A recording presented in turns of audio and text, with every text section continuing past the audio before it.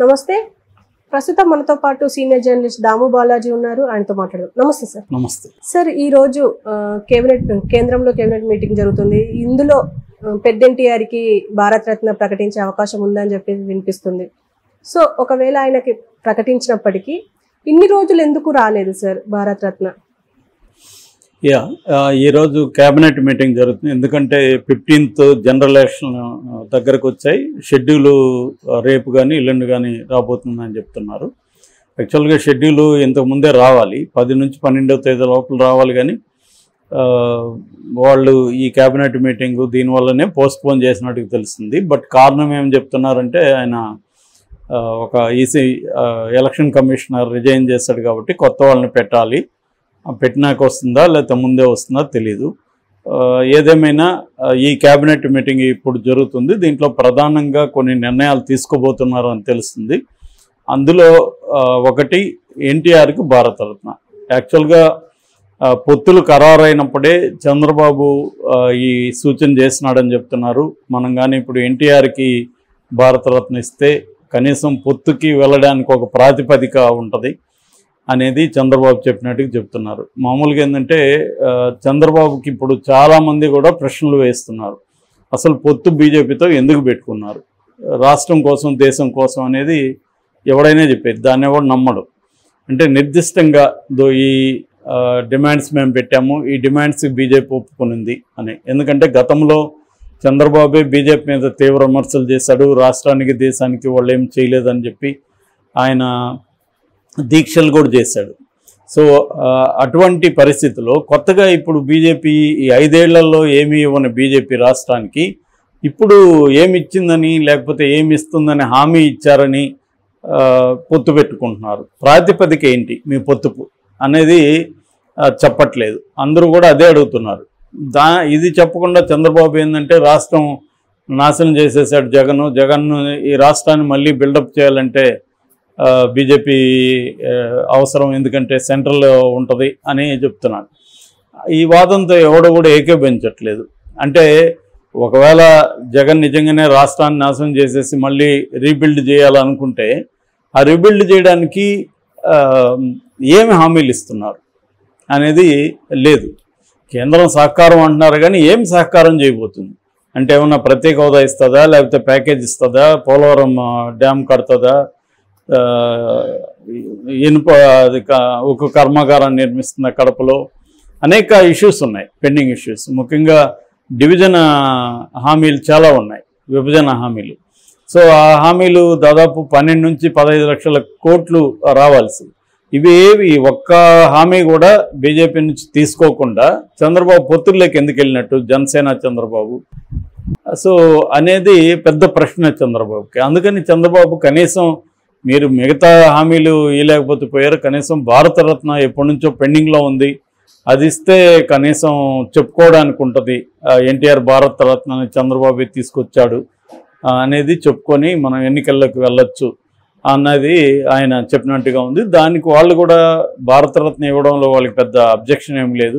యాక్చువల్గా ఇయర్ ఎప్పుడు భారతరత్న ఏర్పడినప్పటి నుంచి ఇప్పటి వరకు ఇవ్వనన్ని భారతరత్నాలు బీజేపీ ప్రభుత్వం ఇచ్చింది. మనం చూసాము ఆ, కర్పూరి ఠాకూర్కి ఇచ్చింది అద్వానికి ఇచ్చింది పివి నరసింహారావుకి ఇచ్చింది. ఇలాగా ఇచ్చుకుంటూ వెళ్తున్నారు. అంటే వాళ్ళు ఏంటంటే బీజేపీ ఏ పని చేసినా కూడా దాని వెనుక ఒక వ్యూహము ఎత్తుగడలు లేకుండా ఏ పని చేయదు బీజేపీ ఏ పొలిటికల్ పార్టీ కూడా చేయదు కానీ బీజేపీ ఇందులో చాలా ముదురు.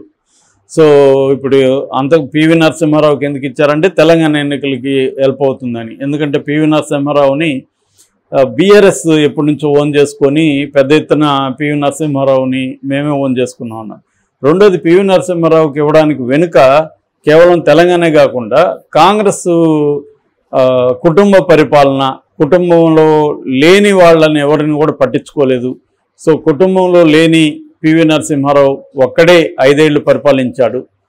తర్వాత మన్మోహన్ సింగ్ను వదిలేస్తే ఎందుకంటే మన్మోహన్ సింగ్ డమ్మి అనేది వాళ్ళ అభిప్రాయం. కానీ పీవీ అలా లేదు. పీవీ అప్పటికి ఆమె ఇంకా కూడా యాక్టివ్గా పాలిటిక్స్లోకి రాలేదు సోనియా. అందువల్ల ఈయన ఇండిపెండెంట్గా చేయగలిగాడు. నిజానికి ఆయన మైనార్టీ ప్రభుత్వంలో ఉంటూ కూడా చాలా డ్రాస్టిక్ నిర్ణయాలు తీసుకోగలిగాడు. దేశ స్వరూప స్వభావాలను ఆయన మార్చేసే పరిస్థితి వచ్చింది. అందుకని ఆయన్ని సోనియా గాంధీ తర్వాత వచ్చినాక కనీసం ఆయన శవాన్ని కాంగ్రెస్ ఆఫీసులకు కూడా అలో చేయలేదు. అక్కడ ఢిల్లీలో ఖననం చేయాలని అందరూ కూడా పట్టుబడితే కూడా అక్కడ కాకుండా త- బలవంతంగా ఇక్కడికి తరలించారు. ఎందుకంటే అక్కడ మళ్ళీ ఆయనకు ఒక ఘాట్ ఏర్పాటు చేయాలా ఘాటుని విజిట్ చేయాల్సి వస్తుందని సోనియా గాంధీ. ఆ స్థాయిలో ఆయన్ని అవమానించిన కాంగ్రెస్ పార్టీకి దెబ్బ కొట్టాలంటే ఆయన్ని తాము ఓన్ చేసుకోవాలి అనేది బీజేపీ ఒక వ్యూహం. అందుకని ఆయనకి ఎలక్షన్ ముందు ఇది ఇచ్చారు భారతరత్న. అలాగే ఇప్పుడు ఎన్టీఆర్కి సంబంధించి కూడా భారతరత్న ఇవ్వడంలో వాళ్ళకి ఏం అబ్జెక్షన్ ఉండకపోవచ్చు. రెండోది బీజేపీ ఇవ్వడం వల్ల బీజేపీకి కూడా అక్కడ మైలేజ్ వస్తుంది. రెండోది ఎన్టీఆర్ కూతురే బీజేపీ రాష్ట్ర అధ్యక్షురాలు. కాబట్టి ఆ, ఇబ్బంది ఉండదు అయితే రెండో ప్రశ్న ఇన్ని రోజులు ఎందుకు భారతరత్న రాలేదు? నిజానికి చంద్రబాబు ఎప్పుడో ఎప్పటి నుంచో ఎన్డీఏలో ఉన్నాడు. నైంటీ నైన్లో ఎన్డీఏలో ఉన్నాడు మన వాజ్పేయి గవర్నమెంట్లో ఉన్నాడు. అప్పుడు చంద్రబాబు గట్టిగా అడిగితే వాళ్ళు ఇవ్వకుండా పోయే ప్రసక్తి ఏం లేదు. కానీ చంద్రబాబు అడగలేదు గట్టిగా అనేది అందరూ చెప్తున్నమాట అయితే చంద్రబాబు ఎందుకు అడగలేదంటే ఒక వెర్షన్ చెప్తుంటారు చాలాసార్లు. అదేంటంటే ఒకవేళ భారతరత్న ఇస్తే ఆయన భార్య హోదాలో మా ఆయన ఎన్టీఆర్ భార్య హోదాలో లక్ష్మీపార్వతి వెళ్ళి అవార్డు తీసుకోవాలి. సో అది ఇబ్బంది అవుతుంది. అది ఎవరికి కుటుంబానికి ఇష్టం లేదు. అనేది చెబుతారు. మరి ఇప్పుడు ఇస్తే ఏం చేస్తారు? అన్న ప్రశ్న చాలామందికి వస్తుంది. కానీ మోడీ వ్యవహారం వేరు. మోడీ వ్యవహారం ఏంటంటే ఇవేవి చూడరు ఆయన. తను అనుకున్న చేసేసి వెళ్తుంటారు. సో ఇప్పుడు లక్ష్మీపార్వతి ఇబ్బంది లక్ష్మీపార్వతిని పక్కన పెట్టి మనం ముందుకెళ్ళిపోదాం అనుకుంటారు. సో ఒకవేళ లక్ష్మీపార్వతి కాకుండా రేపు ఆ బాలకృష్ణనో లేకపోతే ఈ పురంధరేశ్వరరావు కూతురు హోదాలో వెళ్ళి తీసుకున్నారనుకో లక్ష్మీపార్వతి ఏం చేయగలదు?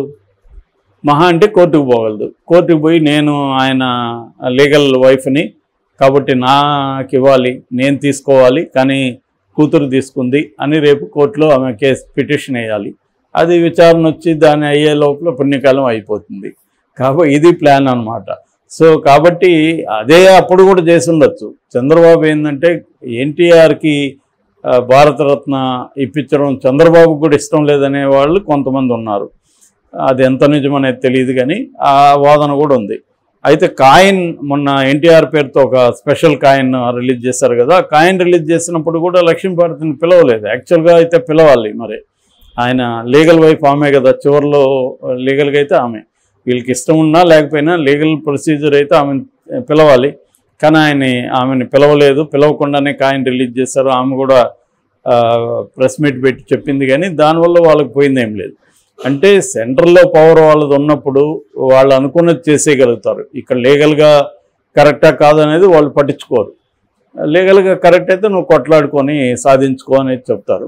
సో ఆ క్రమంలో ఎన్టీఆర్కి వచ్చే అవకాశం అయితే ఉంది. ఎందుకంటే NTR very much deserved that award ఆయన ఇటు సినిమా రంగం కళారంగం తర్వాత డైరెక్ట్ చేశాడు యాక్ట్ చేశాడు. అంతకుముందు స్టేజ్ యాక్టర్ ఆయన దాని తర్వాత ఇంకా రాజకీయాల్లో ఆయన సాధించిన విజయాలు చాలామంది సాధించలేకపోయారు. కాబట్టి ఏ రకంగా చూసినా ఆయనకి భారతరత్న ఇవ్వాల్సిందే. ఇవ్వచ్చు ఎప్పుడో వచ్చి ఉండాలి నిజానికి. కానీ ఆయనకి ఇవ్వకపోవడం వెనక రకరకాల రాజకీయాలు పనిచేశాయని చెప్తున్నారు. సో ఇప్పుడు కూడా మళ్ళీ ఆయనకి ఇవ్వడం వెనక కూడా మళ్ళీ రాజకీయాలే పనిచేస్తాయి.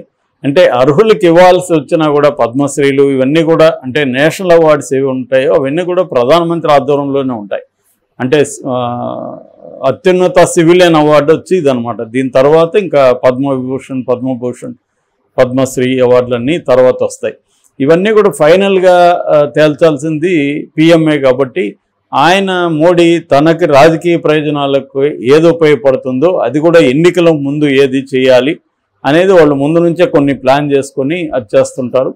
ఒక్కొక్కసారి కొన్ని రకాల ఈక్వేషన్స్ చేంజ్ అయినప్పుడు కూడా అప్పటికప్పుడు నిర్ణయాలు తీసుకొని కూడా వెళ్తారు. సో అందుకని ఇప్పుడు ఏమీ లేకుండా పొత్తులు పెట్టుకుంటే ఈ తీవ్ర విమర్శలు వస్తున్నాయి. ఈవెన్ టీడీపీలో కూడా ఒక అసంతృప్తి ఉంది. మోడీతో మనం ఎందుకు పెట్టుకోవాలి? అసలు అతనికి ఒక పర్సెంట్ కూడా ఓట్లు లే- షేర్ లేని బీజేపీ మనకి ఎందుకు దానివల్ల మనకి అనేక నెగిటివ్ ఆస్పెక్ట్స్ ముందుకు వస్తున్నాయి. అని తెలుగుదేశంలో కూడా ఉంది. ఈ అసంతృప్తిని చల్లార్చాలన్నా లేకపోతే ఓవరాల్గా ప్రజల్లో ఒక పాజిటివ్ దీన్ని తీసుకురావాలన్నా ఎన్టీఆర్కి పద్మ సారీ భారతరత్న ఇవ్వాల్సిన అవసరం ఉంది. ఇస్తారని అనుకోవచ్చు మనం. Okay sir thank you.